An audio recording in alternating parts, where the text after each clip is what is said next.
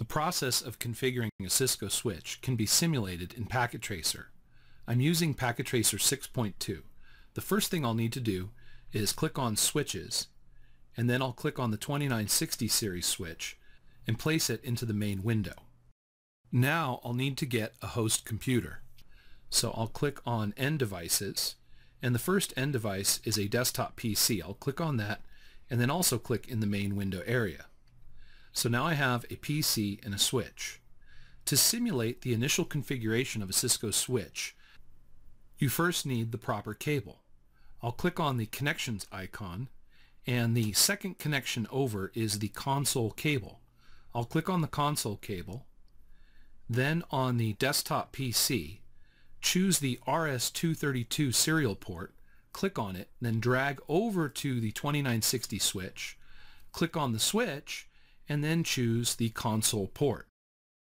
I now have a connection from the desktop PC to the 2960 series switch using a rollover or console cable. Once you have the serial cable running from your desktop PC to the switch console port, you'll need a terminal emulation program for the initial configuration of the Cisco switch.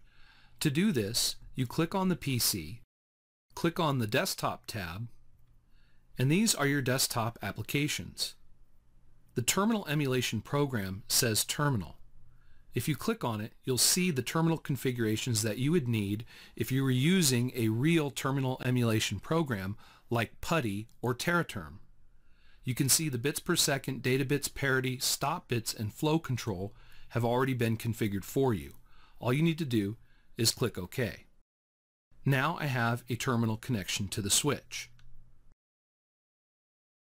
I'll press enter to get started and you can see that I have the switch command prompt available to me. This is how you will need to console into the switches and routers in Packet Tracer skills activities and Packet Tracer exams. For a quick alternative way of reaching a command line interface, you can click directly on the switches and routers, go to the CLI tab, and you can see that it also brings up a command line interface. Furthermore, you can increase the size of the font by going to Options, Preferences, Font, and changing the size of the CLI font. You can see that I've changed mine to 16 to make it easier to read for the video.